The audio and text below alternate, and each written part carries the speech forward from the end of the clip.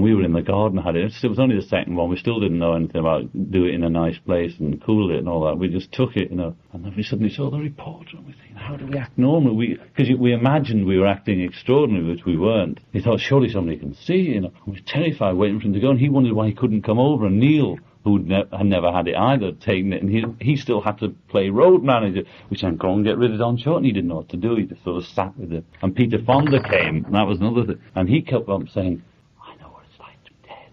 And we said, "What?" And he kept saying it, you know. We were saying, "For Christ's sake, shut up! We don't care. you know, we don't want to know." But he kept going on about it, and that's how I wrote. She said, "She said." I know what it's like to be dead. Well, it was a sad song, you know. Uh, That was uh, just an acidy song, I suppose and when I was a little boy.